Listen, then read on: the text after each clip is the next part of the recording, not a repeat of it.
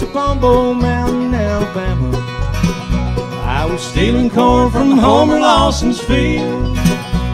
The rattle of the corn stalks and the bark of Homer's hound dog made me hug the ground and lie dead still.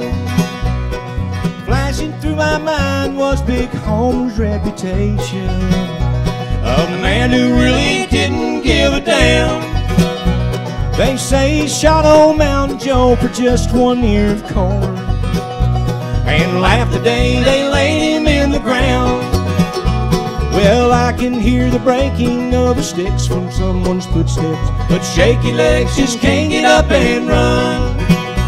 And as I lay there breathless, the next thing I expected was the blast of hell from Homer Lawson's gun.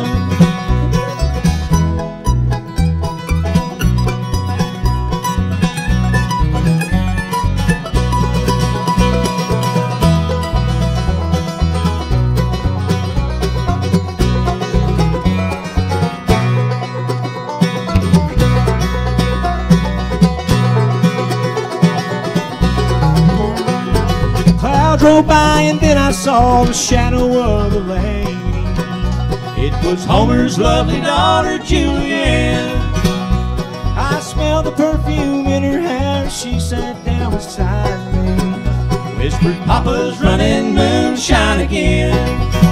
I thank God for cloudy nights in Alabama's whiskey still. And harvest time in Homer Lawson's field. Whiskey still. And harvest time in Homer Lawson's field.